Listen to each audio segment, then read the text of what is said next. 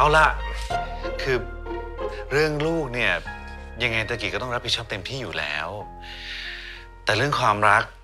มันอยู่นอกเหนือความรับผิดชอบนะ อาคิดว่าให้ตะกิดเนี่ยเซ็นรับรองบุตรอย่างเดียวไปก่อนดีกว่า ส่วนเรื่องของเธอสองคนต่อไปจะเป็นยังไงก็ขอให้มันเป็นเรื่องของอนาคตก็แล้วกันนะ แล้วศักดิ์ศรีของออนล่ะคะศักดิ์ศรีของออนล่ะคะ ใครจะเป็นคนรับผิดชอบ เคยมีด้วย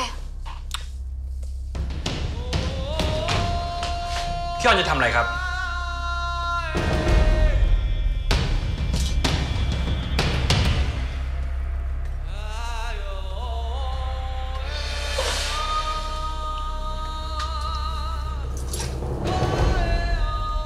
ถ้าคุณไม่จดทะเบียนสมรสกับออน ออนก็จะไม่ให้คุณเซ็นรับรองบุตร และต่อจากวันนี้ คุณก็จะไม่มีทางได้เจอกับพายต่อไป น่าสงสารพายนะคะ เพราะว่าต่อไปนี้คนทั้งประเทศเขาก็จะได้รู้ว่าพายเป็นเด็กที่ไม่มีพ่อ ออน คุณพูดอะไรเนี่ยคิดจะทำอะไรฮะ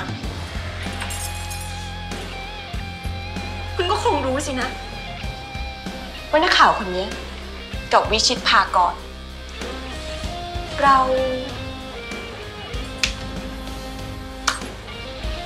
ออนคงไม่ต้องอธิบายนะ แต่ถามจริง ๆ เถอะ คุณไม่คิดถึงลูกบ้างเหรอ ว่าอนาคต เขาจะอยู่ในสังคมได้ยังไง พี่ออน น้องพายเป็นลูกของพี่นะ เป็นลูกแท้ ๆ ของพี่นะ ขอโทษนะ คือพี่ไม่สน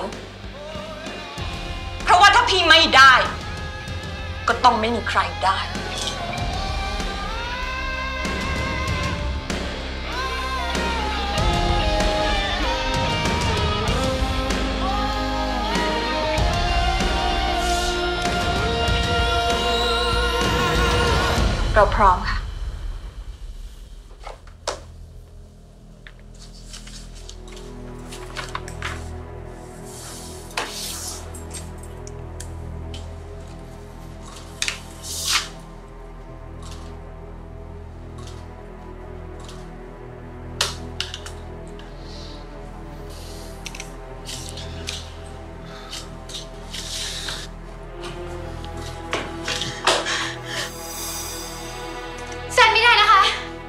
ทำไมจะเซ็นไม่ได้